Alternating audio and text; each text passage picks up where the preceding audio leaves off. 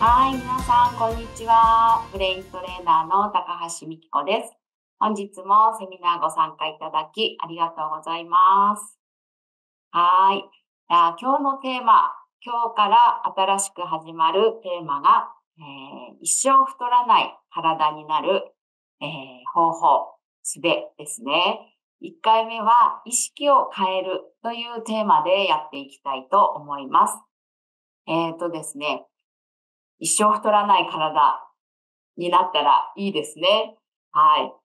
となぜこのタイトルで今 YouTube 配信もしているんですが、セミナーをするきっかけというのが、私がこう生体の仕事だったり、ヨガの会員さんとこうお話しする中で、必ずカウンセリングというのをするんですよね。その方の体の状態とか、えー、なお悩みとか、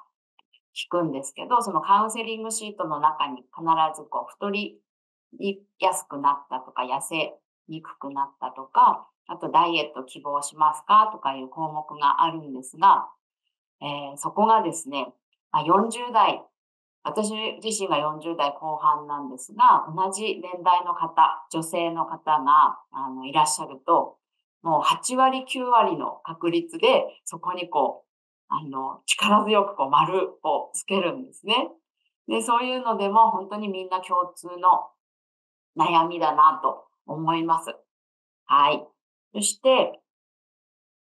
ですね。はい。私自身はですね、あの、まあ、40代、50代ぐらいで、その太りやすくなるというのが、原因としては、やっぱり生理が終わる頃なので、ホル女性ホルモンのバランスがこう変わってきますよね。ホルモンの、えー、分泌が減ったり、そうすると、あの、筋肉量が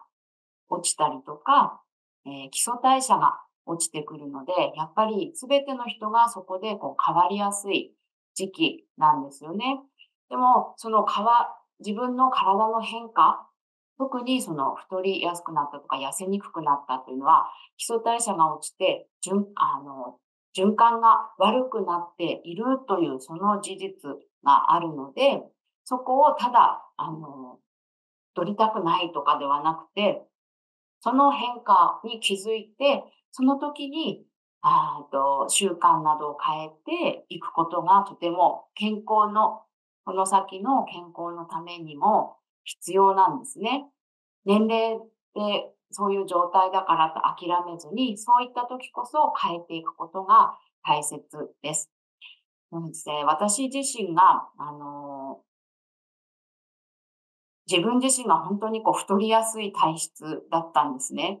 それが今の40代よりも私の場合は30代後半のえーと、出産、妊娠、出産を繰り返した後ですね、それを終えた頃に30代後半ぐらいに本当にこう水を飲んでも太るんじゃないかっていうぐらいの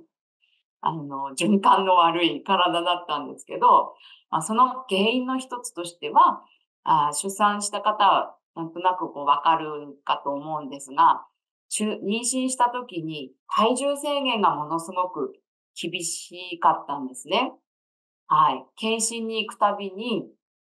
あの、増える、体重が増えるので、赤ちゃんは数グラムしか増えてないのに、なんでお母さんはこんなに増えるんですか？とこう、厳しくこう怒られるわけです。そうするたびにもう、ああ、太りたくないとか、こう、その、それ、太ることがものすごくこう恐怖心が根付いてしまって、えー、その出産を終えた後も、そのこう、恐怖が残ってしまって、その当時は本当に1日体重計にこう10回以上乗るような食事をしては体重を測り、トイレに行っては体重を測り、みたいに、今と思、今から思うと、なんかこの色ぜみたいになってたのかなと思います。で、食事もやっぱりね、そんな状態だったので、食べることにこう楽しさが、あの、なかったんですよね。で、その時に、自分自身が、ああ、本当に食べることも好きだし、ほん、あの、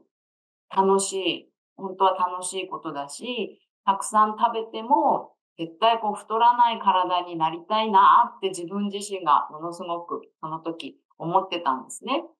で、10年以上経って、今は本当に、あの、楽しく、美味しく、好きな食事をして、自分自身が太らない体を手に入れたので、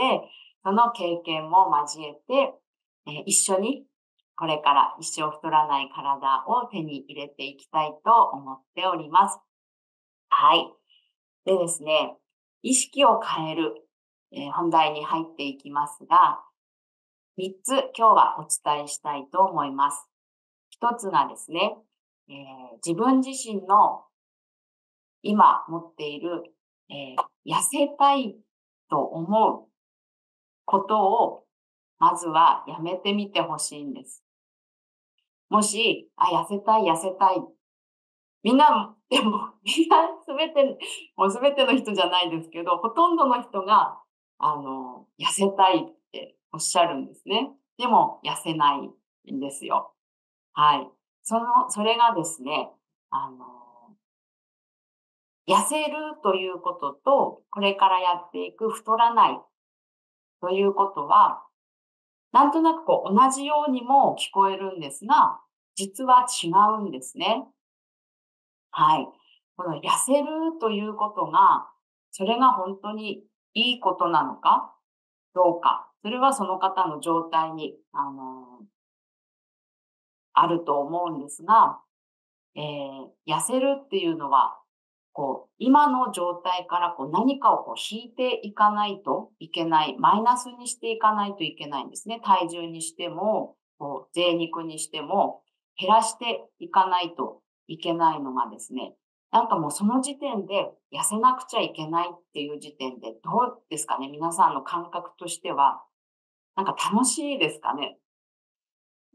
楽しいかどうか、あの、痩せるってこう山だれ書くじゃないですか。はい。実はその言葉の意味としても、痩せるというのはこう、何ですか、こう、あの、病気になるようなイメージがあるんですよね。で、痩せることには終わりがないんですね。もし、えー、体重で言ったら55キロの人が50キロになりましたってなると、今度は、あの、痩せることから、そこからまた太るんじゃないかっていう不安が出たりとか、あの、これをこう、あの、なんか、これ以上こう、の無限に痩せてしまったら、それこそ必ず人は、あの、痩せ続けたら病気になりますよね。なので、私は思うのは、この意識の方向性を、この痩せるという、ちょっとこうマイナスなところから、今の現状、今の自分の状態が100% OK と一度リセットして、今の状態が一番いい状態からスタートして、太らない体にするというのを、あの、意識をちょっと変えてみることが必要だと思います。はい。そしてもう一つ、あの、ここでお伝えしたいのが、ご視聴ありがとうございます。続きはヒルズウォッチで配信中。気になる方は、ぜひ概要欄をチェックしてください。チャンネル登録、SNS でのシェアもよろしくお願いします。